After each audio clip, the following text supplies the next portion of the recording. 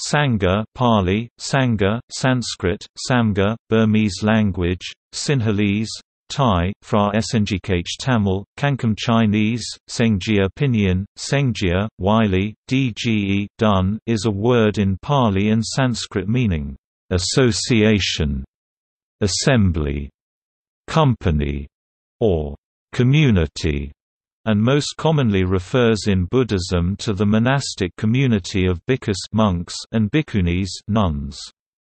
These communities are traditionally referred to as the Bhikkhu Sangha or Bhikkhuni Sangha.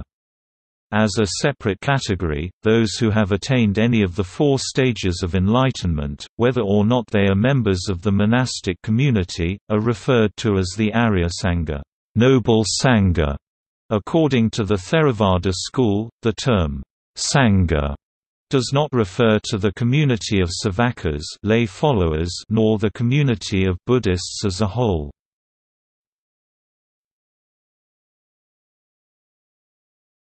Topic: Definitions. In a glossary of Buddhist terms, Richard Robinson al. define Sangha as Sangha community. This word has two levels of meaning. 1 On the ideal Arya level, it denotes all of the Buddha's followers, lay or ordained, who have at least attained the level of Srotapanna. 2 On the conventional Samurti level, it denotes the orders of the Bhiksus and Bhiksunis. Mahayana practitioners may use the word Sangha as a collective term for all Buddhists, but the Theravada Pali Canon uses the word parisa Sanskrit parisad for the larger Buddhist community the monks, nuns, lay men, and lay women who have taken the three refuges with a few exceptions reserving Sangha for its original use in the Pali Canon the ideal and the conventional the two meanings overlap but are not necessarily identical. Some members of the ideal Sangha are not ordained, some monastics have yet to acquire the Dharma eye. Unlike the present Sangha, the original Sangha viewed itself as following the mission laid down by the Master, viz., to go forth on tour for the blessing of the manyfolk, for the happiness of the manyfolk out of compassion for the world, for the welfare, the blessing, the happiness of Deva and men.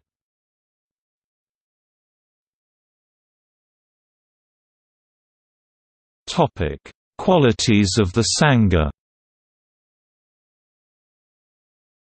The Sangha is the third of the three jewels in Buddhism. Common over all schools is that the Aryasangha is the foremost form of this third jewel.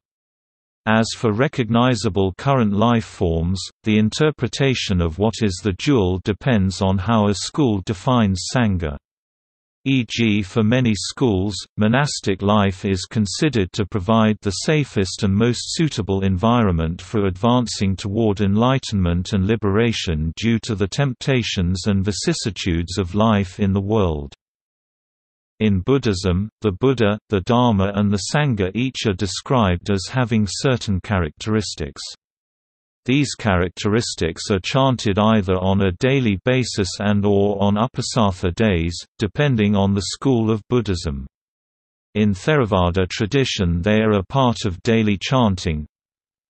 The Sangha, the Sangha of the Blessed One's disciples is practicing the good way practicing the upright way practicing the knowledgeable or logical way practicing the proper way practicing the mindful way that is, the four pairs of persons, the eight types of individuals, this Sangha of the Blessed One's disciples is worthy of gifts worthy of hospitalities worthy of offerings worthy of reverential salutation the unsurpassed field of merit for the world. 1 2 3 Topic: Monastic tradition. The Sangha was originally established by Gautama Buddha in the 5th century BCE in order to provide a means for those who wish to practice full-time in a direct and highly disciplined way, free from the restrictions and responsibilities of the household life. The Sangha also fulfills the function of preserving the Buddha's original teachings and of providing spiritual support for the Buddhist lay community. The Sangha has historically assumed responsibility for maintaining the integrity of the doctrine as well as the translation and propagation of the teachings of the Buddha.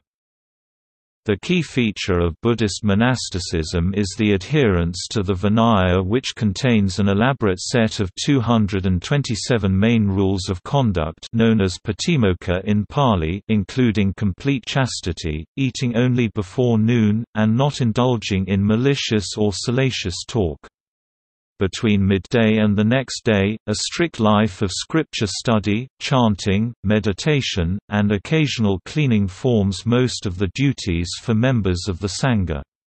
Transgression of rules carries penalties ranging from confession to permanent expulsion from the Sangha.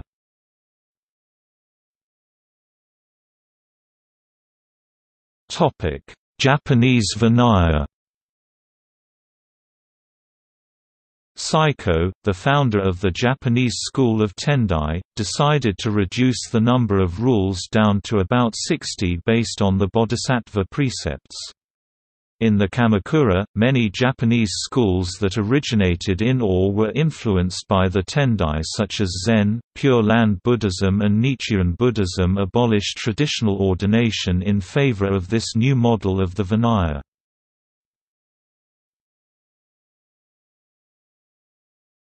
The Fourteen Precepts of the Order of Interbeing The Order of Interbeing, established in 1964 and associated with the Plum Village tradition, has 14 precepts observed by all monastics. They were written by Thich Nhat Hanh.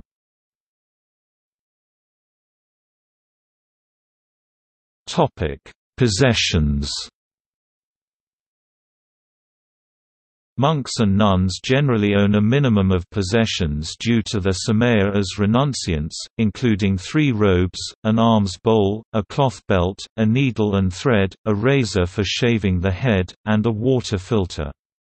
In practice, they often have a few additional personal possessions.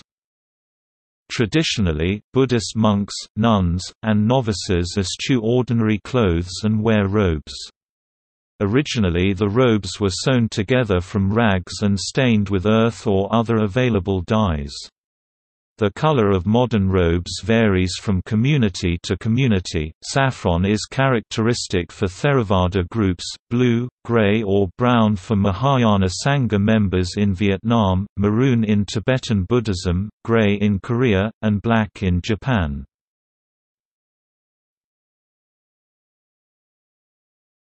Topic: Attitudes regarding food and work. A Buddhist monk is a bhikkhu in Pali, Sanskrit bhiksu while a nun is a bhikkhuni, Sanskrit bhikshuni. These words literally mean, beggar, or one who lives by alms, and it was traditional in early Buddhism for the Sangha to go on alms round for food, walking or standing quietly in populated areas with alms bowls ready to receive food offerings each day. Although in the Vinaya laid down by the Buddha the Sangha was not allowed to engage directly in agriculture, this later changed in some Mahayana schools when Buddhism moved to East Asia, so that in the East Asian cultural sphere, the monastic community traditionally has engaged in agriculture. An emphasis on working for food is attributed to additional training guidelines laid down by a Chan Buddhist master, Baizhang Huaihai, notably the phrase, "'A day without work is a day without food' Chinese, Yiribu Zhao Yiribu Shi The idea that all Buddhists, especially Sangha members, practice vegetarianism is a Western misperception. In the Pali Canon, the Buddha rejected a suggestion by Devadatta to impose vegetarianism on the Sangha. According to the Pali texts, the Buddha ate meat as long as the animal was not killed specifically for him. The Buddha in the Pali Canon allowed Sangha members to eat whatever food is donated to them by laypeople, except that they may not eat meat if they know or suspect the animal was killed specifically for them. Consequently, the Theravada tradition does not practice strict vegetarianism, although an individual may do so as his or her personal choice for. On this question Mahayana and Vajrayana traditions vary depending on their interpretation of the scriptures. In some Mahayana sutras, meat eating is strongly discouraged and it is stated that the Buddha did not eat meat.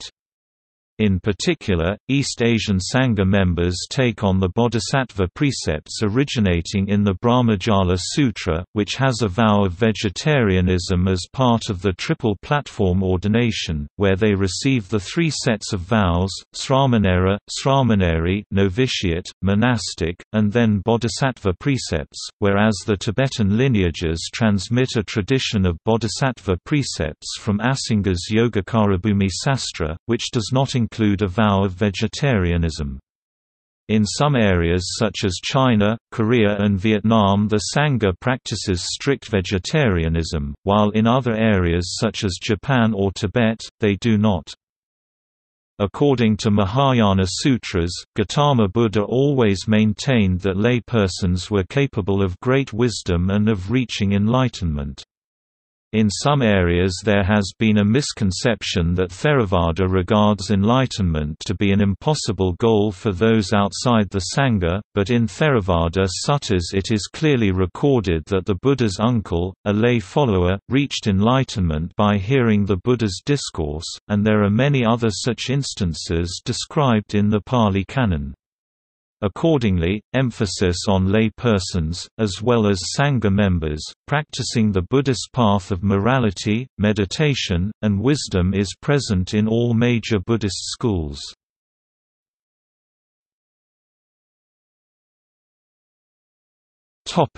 Sangha as a general reference to Buddhist community